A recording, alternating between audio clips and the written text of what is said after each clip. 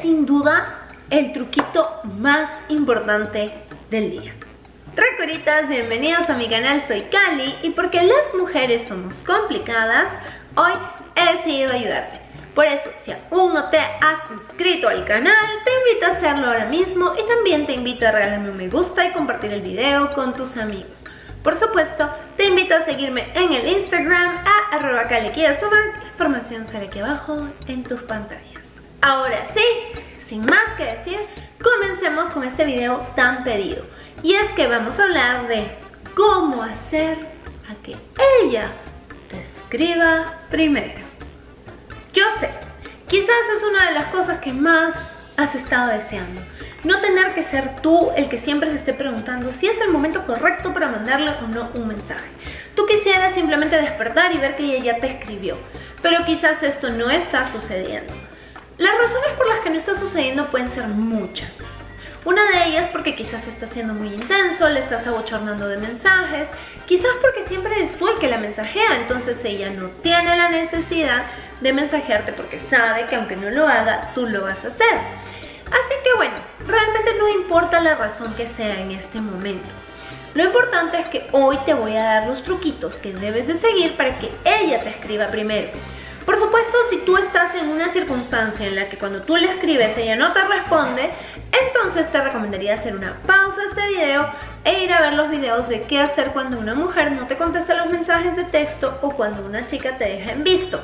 Te voy a dejar los links en la cajita de descripción para que los revises.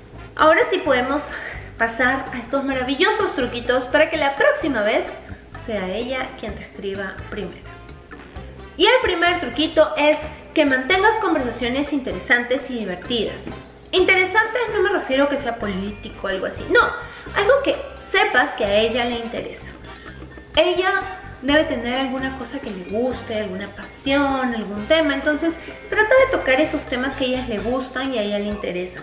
Si puedes ponerle ahí un toquecito como de alegría, como de algo así, está muy bien. Porque lo importante con esto es básicamente que tú dejes en ella la idea de que el hablar contigo es algo bonito, de que el hablar contigo es algo especial, que eres una buena compañía, etcétera, etcétera.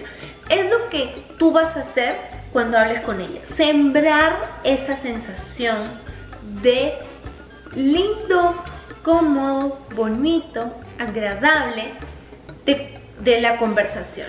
Entonces ella cada vez que te recuerde va a recordar que es agradable conversar contigo, que eres una buena compañía y por supuesto cualquier mujer va a querer ser la primera en comunicarse con una persona que le hace sentir así.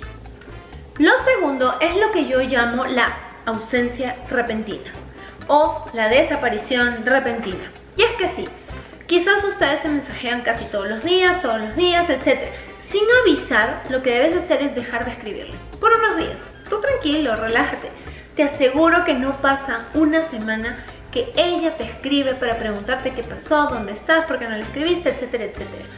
Las mujeres somos muy curiosas y si tú te desapareces así repentinamente, te aseguro que ella va a querer saber qué pasó y va a ser la primera en escribirte para averiguarlo. Lo tercero que debes hacer es mandarle un texto sin texto. ¿A qué me refiero con esto? Le vas a mandar solamente una imagen, una fotografía, o un meme, un chiste, algo bonito que le arranque una sonrisa, algo agradable. Por favor, nada de vulgaridades, nada de groserías, nada de esos memes así medios. Por supuesto, nunca toques ningún tema sexual, no te vayas a ese camino. Simplemente sé educado, sé amable y trata de mandarle una imagen que le arranque una sonrisa.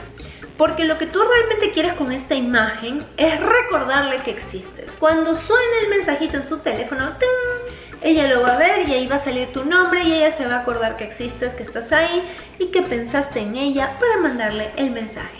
Te aseguro que sin duda alguna la próxima vez será ella la que te escriba primero. Lo cuarto que puedes hacer también es mandarle un mensajito con texto, pero que sea corto y significativo. Nada de hola, ¿cómo estás? Que te cuento. No.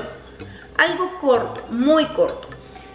Tú le vas a mandar una imagen con un mensaje muy simple. Pero ¿de qué va a ser esta imagen? ¿De qué va a ser este mensaje? De seguro que con todo el tiempo que llevas hablando con ella, sabes las cosas que le gustan, las cosas que le apasionan. Entonces, por ejemplo, si sabes que a ella le gustan las flores amarillas o que a ella le gusta la comida italiana, cuando pasas por un parque y veas flores amarillas, le vas a tomar una foto y le vas a mandar el mensaje diciéndole, en cuanto las vi, pensé en ti. Cuando pasas al lado de una lasaña o de un restaurante italiano, le tomas foto y le dices, en cuanto lo vi, pensé en ti o me acordé de ti. Lo que estás haciendo con este mensaje, así de corto, es decirle, hola, aquí estoy, existo y, y pensé en ti, te tengo presente. Te encuentro en las cosas de mi diario vivir. Eso a las mujeres les encanta. Te aseguro que sin duda alguna ella va a comenzar en ese momento a responderte, pero si no lo hace por cualquier razón, la próxima vez va a ser ella la que quiera escribirte primero porque le va a encantar el hecho de que tú hayas estado pensando en ella. Último truquito, quizás el más importante y el más efectivo a veces, porque todos son igual de efectivos, es que cuando están conversando en la mitad de una conversación así súper, súper interesante y súper buenísima, lo que tú tienes que hacer es terminar la conversación. Sí, pero no de una manera grosera. Te inventas cualquier excusa. Mi abuelita me está llamando, tengo que bañarme, tengo que entrar a un trabajo, se me acabó la pila del celular, lo que sea. Te inventas cualquier excusa y acabas la conversación. Te aseguro que ella no solo se va a quedar con esta sensación de que el estar hablando contigo es maravilloso y demás, sino que se va a quedar con la curiosidad de saber qué más sigue en la historia y en la conversación y en cuanto menos te lo esperes, ella va a estar mandándote un mensajito, siendo así ella la primera en escribirte. Así que ricuritas, esto ha sido todo por hoy. Por favor, no se olviden de suscribirse al canal y también de compartir el video con sus amigos. Sin duda alguna, hoy día también estoy mandando saluditos.